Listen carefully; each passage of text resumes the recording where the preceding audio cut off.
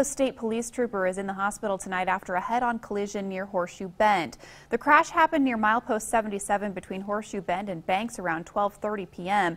as the motorcade escorting the U.S. National Christmas tree made its way down Idaho 55.